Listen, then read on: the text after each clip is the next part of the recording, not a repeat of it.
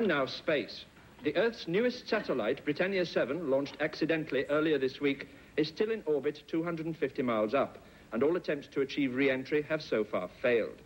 Efforts to rescue the trapped occupants have proved unsuccessful also, and the Space Shuttle rescue vehicle with Garfield Hawk at the controls is now on its way back to Pontefract. Despite these setbacks, however, the morale of Britannia 7's crew is said to be very high. I think we'll have to face the fact, Fanshawe, that the outlook is pretty grim. They are doomed to be stuck up here forever, sir. I should like to be given the opportunity to take certain steps. You mean the suicide pill? I should like to ring up the RAC. Well, they won't come out this far. I want to cancel my subscription. Oh. Things aren't as bad as that, Fanshawe. Any news? Yes, yes. I think I'd better have a word with Mrs. Noah. Where is she? In the galley with Garstang. Mrs. Noah! Ooh, talk about 21st century space technology. The sink's bunged up with tea leaves. She's made it worse. She's compressed it. All it needed was a little tickle with a wire coat hanger. I'm afraid our problem is slightly more serious than a bunged-up sink. You won't say that when the sink's so full of dirty crockery you can't fill the kettle. You can, you can use the dishwashing machine. Oh, no, you can't, because that's bunged up with a wire coat hanger. Now, please, please listen to me, everyone. I just had a message from Mission Control. Apparently, we're going to be up here very much longer than we expected. How much longer? Oh, probably quite a few weeks. Or even a few months. A few months. Oh, dear, heck, isn't there anything we can do? Uh, we've tried every maneuver in the book. Now they'll have to reassess the whole situation starting from scratch. Still, we are front page news. Yeah, but tomorrow will be page two. After that, the diary, and finally, the obituary. I can see it now. Today marked the passing of space cook Mrs. Gertrude Noah, the famous Sinkon bunger. She was laid peacefully to rest in a multi-billion pound mausoleum 250 miles above nowhere in particular, taking with her her secret recipe to a Bakewell tart.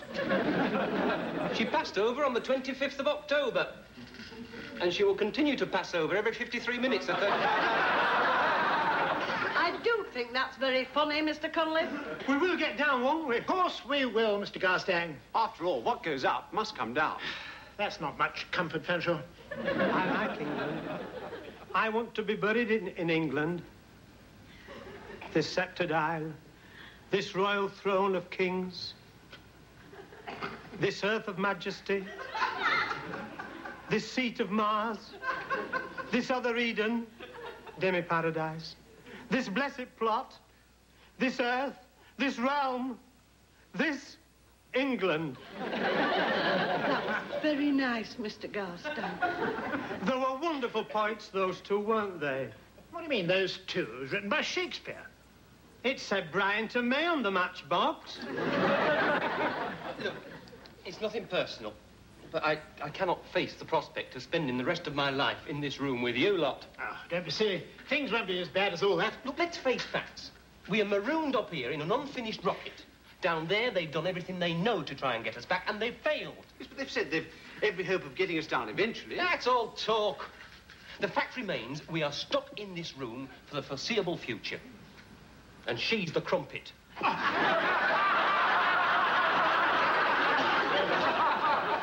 is a damnable thing to say. I'm leaving. Oh, yes, where are you going to? Got lots of choices, haven't you? You can have a happy half hour with your plunger. and there's a continental novelty gas can give you a tickle with his coat hanger. oh, if you're feeling really adventurous, why don't you put on your magnetic boots and go jogging up the wall? If I wanted exercise, I'd box your ears, you cheeky monkey. Mr. Cunliffe, you've gone too far.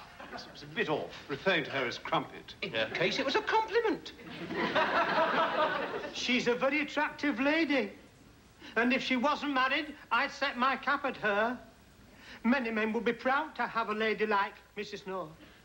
So after two or three years up here, we might be grateful. Thank you. May I state categorically that however long we're up here, nobody's going to be grateful.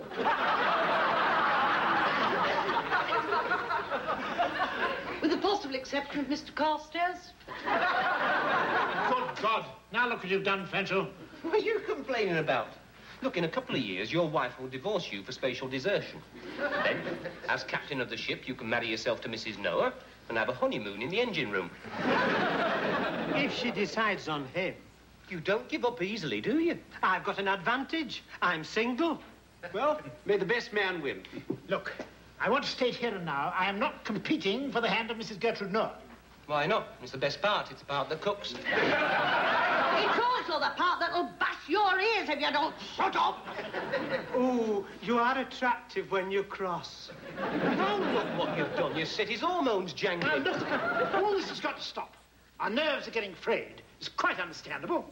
But the fact remains, we've got to work out some way of living together for quite some while. Now, the first thing we've got to do is to apologize to Mrs. Noah. Here. I apologize, Mrs. Noah. It, it- it's just that I get affected by the full moon. And it's not often I'm this close to it. I'm sorry, too. It, it was just a moment of madness. I, I didn't mean any harm. Oh, I quite understand it. After all, I never expected to find myself in such an unusual position. You wait till you're on your honeymoon in the engine room. Any news of Commander Hawk on the Space Rescue Shuttle? I'm trying to renew audiovisual contact. They've missed their entry window and they're having trouble with their oxygen supply. That's it. Do you think they're still having trouble with their oxygen supply? Calling rescue shuttle. Mish Con here. Come in, please. Yes. What? Oh, hello, Miss Khan. Hawk here. Uh, do you have me in visual as well as audio? You have just come up on our screen, sir. Oh, good. This is our position. There's a leak in the fuel tank, oxygen's low, batteries are down, and I'm switching you off to save juice. Do you think they saw us, Commander? What if they did? Here we are, two pawns on the chessboard of fate, riding the heavens together from here to eternity. You really do speak beautifully. Well, at one time I was going to be an actor, you know. It was either that or space. It's very empty, space. True. And we are over India. And no one's looking. Now, here is the control room, and we are standing just about here. Now, I have a technical clearance to move into this accommodation here. What good will that do us? Well, psychologically, we've got to start living as normally as possible. I mean, you can imagine on a very long journey of 50 or 60 years, well, the crew cannot possibly live in the control room all the time. You go absolutely mad staring at all these dials. Precisely, and that is why living units similar to those on Earth have been installed. You mean like little houses? Well, more like flats, actually. Uh, Fanshawe, would you get rid of this uh, thing? And uh, could you bring the brochure for me? Thank you so much. Well, I must say that sounds very nice. Yes. Well, these areas are called normal Earth life imitation environment. Nelly for short. Thank you. right, now here we have a very nice one indeed. This one contains a superior sitting room, gas log fire, cocktail cabinet, deep pile carpet, Luxiflex upholstery suite, a dinette uh, with serving hatch and kitchenette, luxury twin bedroom ensuite with bathroom and sauna, oh, and an added attraction, a large picture window with panoramic view of the earth. Oh, it sounds lovely. That's ours. Oh. well, I'll do my very best to make it comfy for her. No, no, no. Not ours, ours. Why, yours? Uh, because I am the captain. Right now, next door, there is a bijou residence with single semi-luxury bedroom, semi-large sitting room with shallow pile carpets, imitation Luxiflex upholstery, imitation gas log fire, plus the usual semi-luxury offices. And what's an imitation gas log fire? It's a moving picture of a gas log fire projected onto a small screen with a hot air vent behind it. Who's living there? Well, we thought if you couldn't find anything better, it would be ideally suited to you and Mr. Cunliffe. I'm not sharing with him. There's only one bedroom. Well, in the semi-large sitting room, there is a wall bed, which turns it into a semi-large bed sit. Excuse me, Yes. but before all the flats go, what about me? Ah. Well, now, further down at the bottom of the page here, there is a utility bed sittette. Huh? Well, that contains a collapsible bunkette, a reading light, a disappearing basin, and a kettleette. I don't think that's good enough. Well, you see, when we took off, uh, this rocket was only half completed, and that's all we've got. Until they finish it. Could I be put on the housing list? You will, you will have top priority. Of course, if you were married with children, it would be quite a different story. There's no chance of that. Right, well, let's settle in. Let's go and see them, shall we? Right.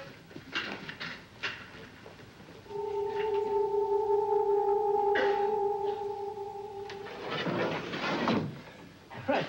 No, no, you're further down that way, Mr. Guster. Oh, oh, thank you. Right, do come in. This is your sitting room.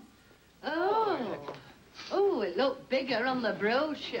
well, it's quite nice, isn't it? Oh, I don't like those curtains. Oh, well, you don't have to have them drawn. Your nearest neighbour is 250 miles away. Oh, heck, I don't think much of that view. ah, well, this glass is hologrammatic. That means you can choose what view you want. All you have to do is to press this remote control here, and you can have your flat any way you like. Uh, for instance, uh, rural, industrial, English seaside, Costa Brava, Central London,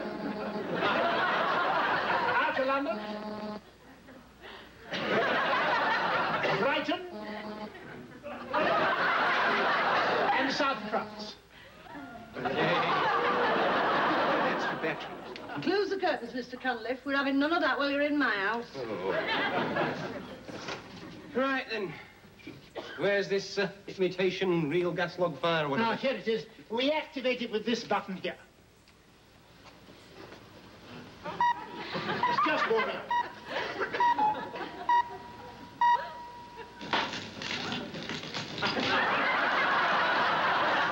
Oh, it's quite cosy, isn't it? What's happened? Well, you've got to put a coin in the meter, you know. now, these are service flats, and they come complete with built-in robot servant.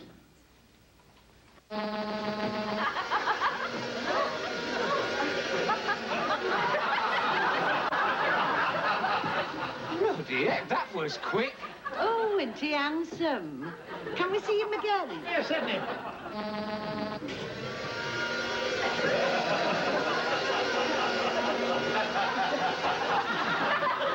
Look, couldn't you slow him up a bit?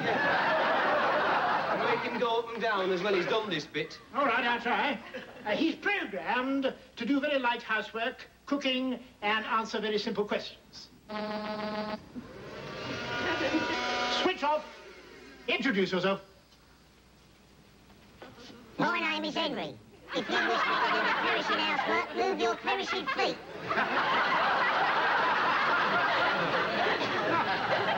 Now, here is the control box. You can either ask him things verbally, or you can press these buttons here, and you will get more or less any service you require. Oh. What happens if I press bath? Well, he runs the water. Well, it's much better than I was expecting. Where's your place? Oh, ours is next door. Are we going to see it? Oh, certainly, yes. Oh, look, why don't you both come round and have a cup of tea this afternoon? We're not doing anything, are we, Central? I hadn't made any plans, sir. Oh, how about it? That'll be very nice, I'm sure. Good. Should we say four o'clock? Well, that's all right with me. What about you, Mr. Cunliffe? Yeah, fine. I should think I'll be tired of looking at the imitation gas log fire by then. Mind you, if I really do get bored, I can always take the butler to pieces. Not till I've had my bath. Well, we'll say four o'clock. It'll give you time to settle in, choose the crockery, linen, that sort of thing. Uh, there is a supply computer in the kitchen over there. Oh. Oh, just a minute. Yeah. We don't know your address. Uh, we're at Spindle Cottage, just down the way. What's this one called, then? Dun Robin. Hey, hang on. Where's my bed? Oh, it's hidden in the wall. All we have to do is press the button on the remote control, the one marked bed. Oh, I thought that was something the butler did. Right, then. Let's give it a try, then, shall we? Press the button now! Press the button now! Press it Press the other button.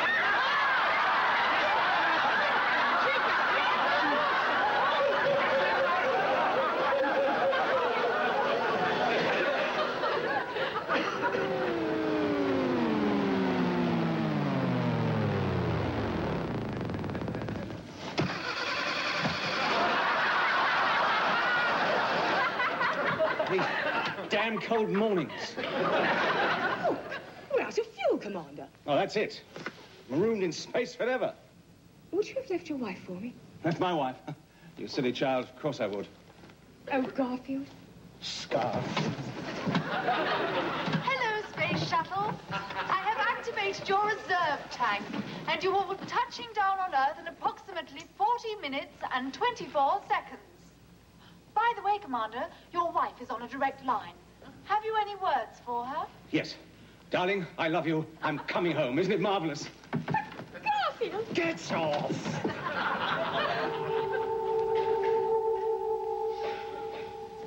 Fanshawe? How are the cucumber sandwiches going on? They're all done. What's that? I put a damp tea cloth over them to keep them nice and fresh. Well, it looks awful. Well, it's either that or having them curling up at the edges. Well, just look at it. I mean, if we're going to let our standards fall, where is it all going to end? Well, I take it off as soon as they ring the bell. You better get rid of that pinny, too. It looks ridiculous. You know, I'm rather worried about Mr. Garstang. I mean, I, I do feel bad about not inviting him, It's not, even though he isn't our sort. it's not that at all. If we invite everybody on the same day, who are we going to invite next week? We've got to ration ourselves. I mean, it's bad enough you and I are sharing this flat. Quite obviously, we're going to get very tired of each other. Oh, no. I never get tired of you. Ah, don't you be too sure. Sooner or later, I'm bound to exhaust the many facets of my personality. and then where will you be? Well, then we can start on mine. But that won't occupy us till the end of time, Fanshawe. now, you know, there's something lacking. My wife's mother used to say that. No, I'm talking about the room. I know. Flowers. Dear, I wish you hadn't told me. Told you what? What about the flowers being missing? What are you talking about? Well, we could have had a guessing game. That would have passed the time in an interesting way. Well, you'd never have got it.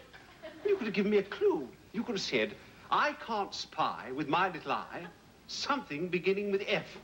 and I'd have said flowers. Well, if you're going to get it that quickly, there's no point in playing, is there? Now, what sort of flowers shall we have? Daffodils? Oh, no, daffodils would look absolutely awful. I'm sorry.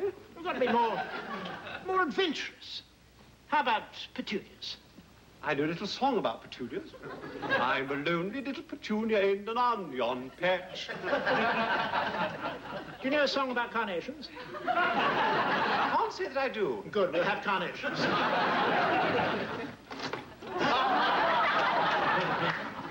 They're awfully common colour. Uh, those two will never notice. I wonder who that can be. Be silly, we know who it is. Yes, I know we do. I'm just trying to keep the element of surprise going. Just answer the door.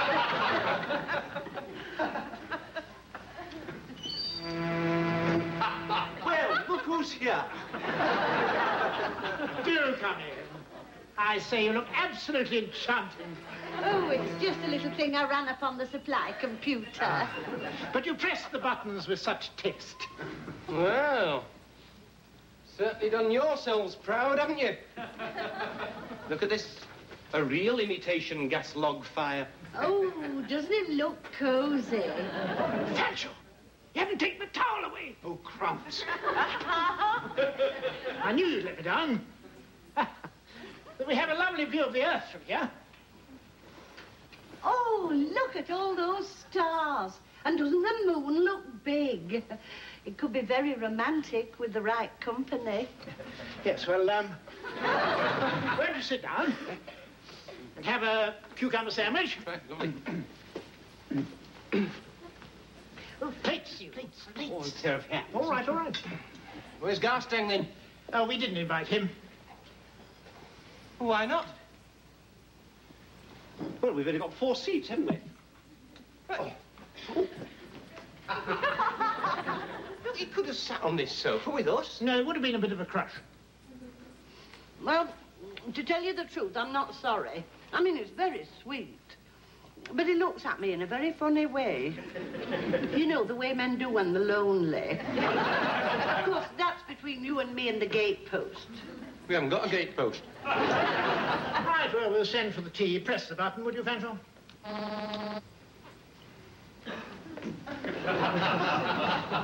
Hey, look, it's our butler. What are you doing with our Henry? It's not your Henry, it's our George. They all look alike. You rang, sir? Tea, please, George. Certainly, sir. Hey, what's this then? Well, this is a luxury apartment, and she comes under the heading of luxury equipment. Yeah, I can see most of it from here. Now where's she going? Uh, she's going to fetch the milk. She can only think of one thing at a time. When she's around, so can I. Well, it's awfully nice weather the world's been having lately, isn't it? Yes. yes, indeed. I was only saying the same uh, to you, Fanshawe, a few months ago. Yes, you were indeed, yes. Quite, it was quite a storm they had over Madagascar. Did you see it? Well, no, I can't see the world from my window, only the exhaust pipe. Well, there's obviously an awful lot of weather going on over England, only there was so much cloud we couldn't see what it was. It's scintillating, this, isn't it? we haven't got any weather of our own, so we have to talk about somebody else's. Mr. Cunliffe, we're all trying to adapt ourselves to very trying circumstances. It would help if you would cooperate a little. All right.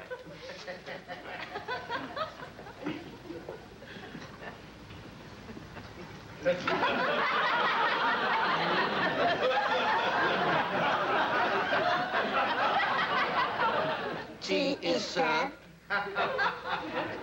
It's very difficult to get good stuff nowadays. Would you like some milk? Thank you. Thank you. Thank you.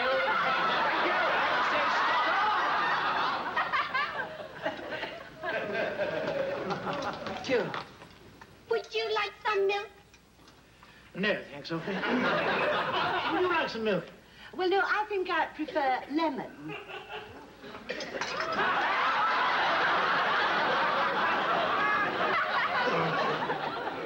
Toast and jam, please, George.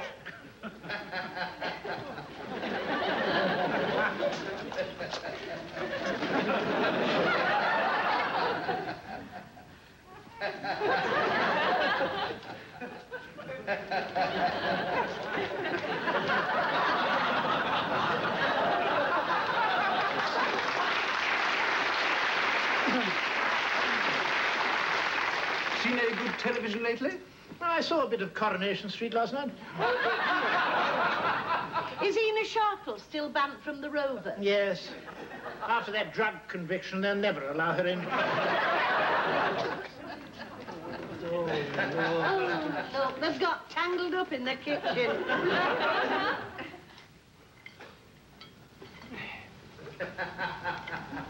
By Jove, this is a tight one. Well, these chaps are very strong. Give it to him. Uh, take the lid off, please.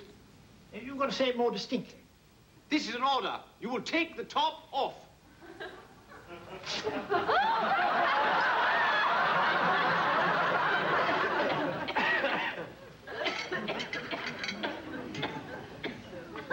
A little more, please.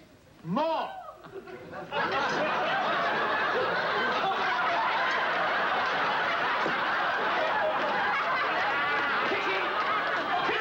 George, George, come and do something about your carpet.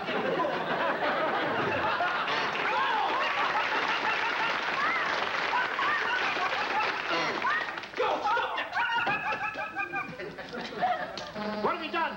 Turn the sprinklers on. Give them both a cold shower.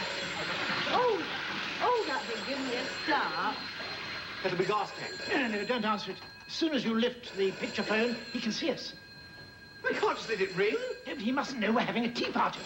Look, quick, hide behind the sofa, will you? Get down as, as much as you can. It's all right. I've got my best trousers on. Get down there, he'll be very hurt if he oh, sees you. What on earth are you hiding for? He knows we're sharing. Bingham Cottage. Carstairs here. Where is everybody? What do you mean? Ah, I've had a walk round the ship. There's nobody in the control room.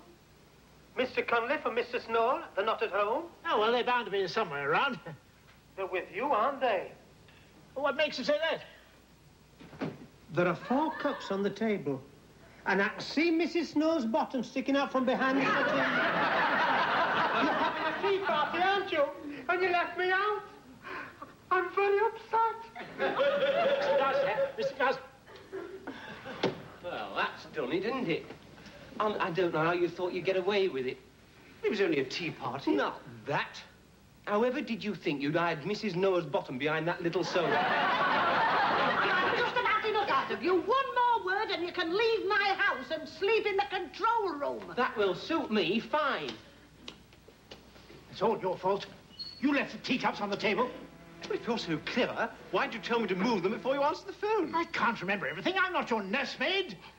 That's a beastly thing to say. Who was it made all the cucumber sandwiches? Same person who left the ugly wet rag on top of them.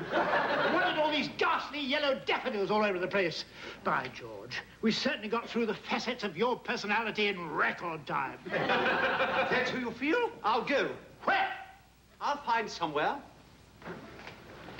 You know, this is all your fault for being a snob. If I was a snob, I wouldn't have invited you. Does it? I will leave you to enjoy your superior sitting room alone.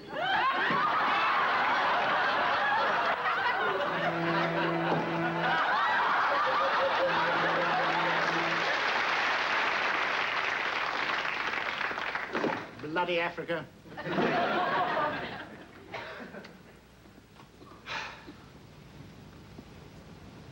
I'm a lonely little petunia.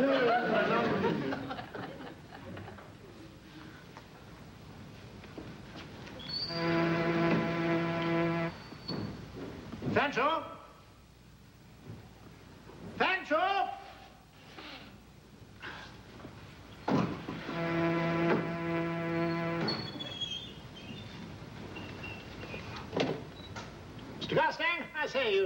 Well. Look, I wonder if you've got nothing else to do, how about coming round here for a drink, eh? Well, I've got Mr. Fanshawe, Mrs. Noah, and Mr. Cunliffe with me at the moment. But I'm free on Thursday.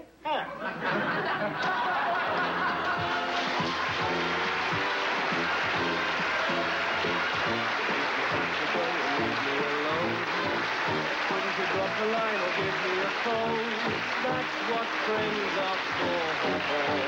Stay tuned for Blackadder next on Channel 17.